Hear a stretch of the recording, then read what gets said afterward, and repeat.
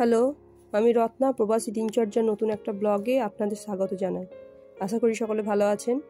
মাত্র তিনটে কুড়ি বাজে, সূর্যের আলো মাটি ছেড়ে গাছের টগায় উঠেছে। সোনালি আলোয় চারিদিকটা বেশ সুন্দর দেখাচ্ছে।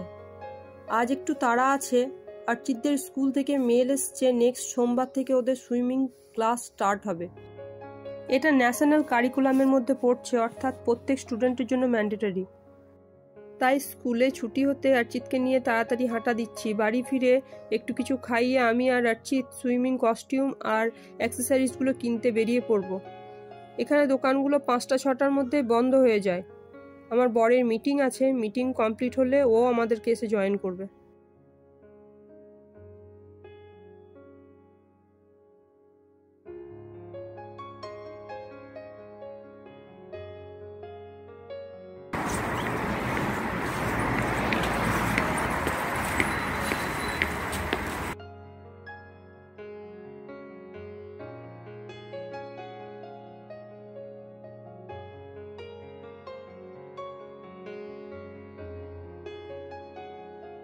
চলা চারটে পনেরো মতো বাজে, আমি আর ঠিক বেরিয়ে পড়েছি।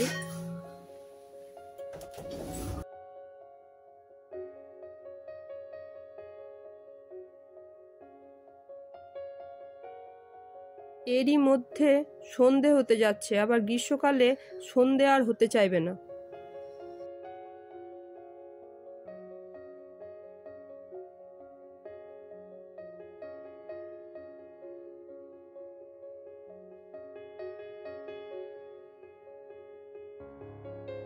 বেশ কিছু দেশে ডে লাইট সেভিং টাইম বলে একটা ব্যাপার আছে।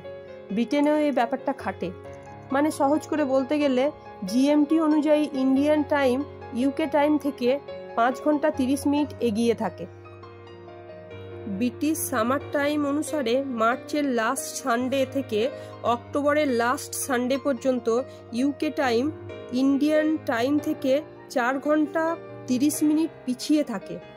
আবার ঠান্ডা শুরুতে অর্থাৎ ইন্ডিয়া ও ইউকে টাইম ডিফারেন্স দাঁড়ায় পাঁচ ঘণ্টা তিরিশ মিনিট। যেমন এখন ডিসেম্বর চলছে। আমাদের সময়ের পার্থক্য এখন পাঁচ ঘণ্টা তিরিশ মিনিট। কারণ ইউকে জিএমটিতে রিভার্ট হয়ে গেছে। আবার মে বা জুন মাসে ইন্ডিয়া ও ইউকে টাইম ডিফারেন্স হবে চার ঘণ্টা তিরিশ মিনিট। মোদ্দা কথা হলো Indian time always GMT plus পাঁচ ঘণ্টা তিরিশ মিনিট। কিন্তু ইউকে টাইম মার্চ ও অক্টোবরের মধ্যে জিএমটি প্লাস এক ঘণ্টা হয়ে থাকে, যেটাকে ডে লাইট সেভিং পিরিয়ড বলে। এই সময় দিনটা বেশ বড় হবে, প্রচুর এনার্জি সেভিং হবে, অনেক আলো থাকবে। লোকে তাড়াতাড়ি কাজে থেকে বাড়ি ফিরবে। আরামে ফ্যামিলির সাথে কিছুটা সানলাইটে সময় কাটাবে। এই সময়টায় সকালও হয় বেশ তাড়াতাড়ি। চারটে, পাঁচটার মধ্যেই দেখি সকাল হয়ে যায়। আবার প্রায় রাত সাড়ে দশটা, এগারোটা পর্যন্ত সূর্যের আলো থাকে। প্রথম প্রথম এসে বেশ অদ্ভুত লাগতো। রাতে ঘুমোতে যাব, কিন্তু আকাশে সূর্যের আলো। আর চিৎকে পড়তে বসাতেও বেশ দেরি করে ফেলতাম। সময়টা ঠিক বুঝে উঠতে পারতাম না, ঘড়ি না দেখলে। দেখতে দেখতে এসে পড়েছি স্পোর্টস ডিরেক্টে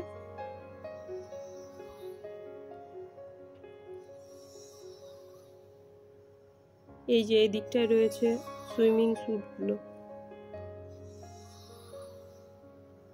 বাচ্চিতের একটা শর্টস লাগবে আর একটা শার্ট লাগবে সুইমিংয়ের জন্য। গগলস লাগবে। সুইমিং হ্যাট লাগবে।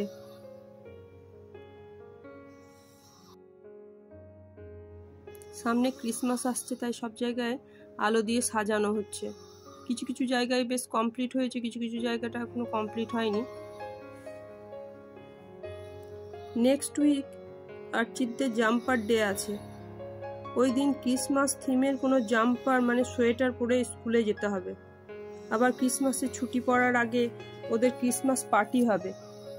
ক্রিসমাস ডিনার ওই ক্রিসমাস ফেয়ার তো হয়েই গেল কদিন আগে স্কুলে স্কুলের ক্যান্টিনে নানান পদ বানানো হয় ওই ক্রিসমাস ডিনার উপলক্ষে।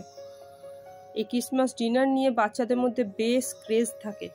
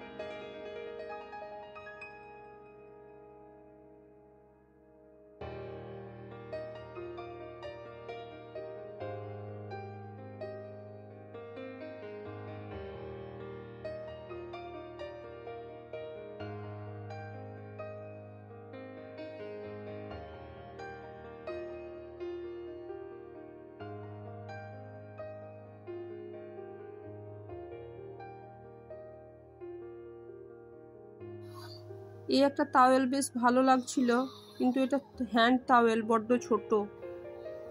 সেই জন্য এটা নেওয়া যাবে না, একটু বড় তাওয়েল নিতে হবে।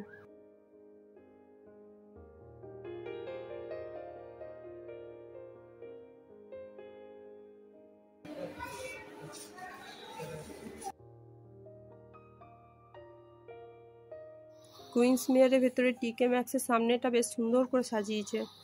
একটা একটা ক্রিসমাস ট্রি দিয়েছে, উপরটাও ভারী সুন্দর করে সাজিয়েছে। আসলে কুইন্স মেয়ারের চারদিকে এন্ট্রান্স রয়েছে। চারদিকে আসলে এরমভাবে সাজাবে, কিন্তু সব জায়গায় সাজানোটা এখনও কমপ্লিট হয়নি। এখানটাই শুধু কমপ্লিট হয়েছে, ভারী সুন্দর দেখাচ্ছে জায়গাটা।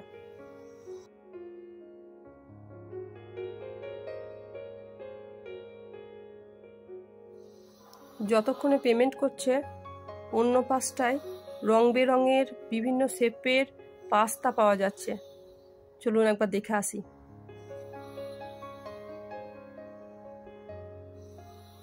কি সুন্দর, না? বিভিন্ন শেপের।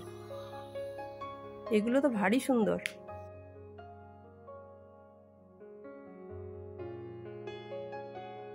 আজ একটু লেট হয়ে গেছে, আর চিতে সুইমিং হ্যাটটা পেলাম না। কিনতে আর সময় হলো না। পরের দিন এসে সুইমিং হ্যাটটা না হয় কেনা যাবে। চলুন বাড়ি ফেরা যাক।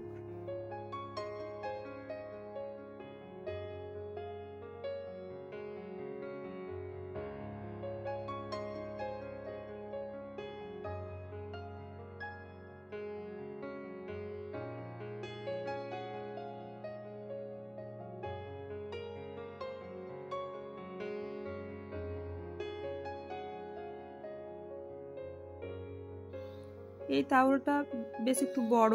হ্যান্ড তাওয়ালের চেয়ে বেশ একটু বড়, তাই এটা কিনে দিলাম। এটা শর্টস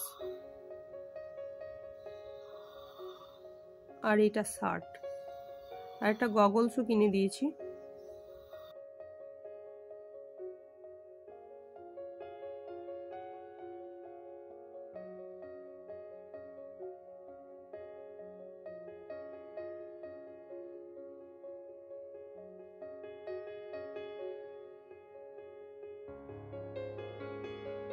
একটা স্প্যানিশ কেক এনেছিলাম। শপিং মল থেকে বেশ ভালো খেতে ছিল কেকটা, তাই আপনাদের জন্য শেয়ার করলাম। আমার ব্লগটা ভালো লেগে থাকলে একটা লাইক, শেয়ার ও সাবস্ক্রাইব করবেন। আর আমার পেজ থেকে দেখে থাকলে অবশ্যই ফলো করবেন। সকলে ভালো থাকবেন। বাই।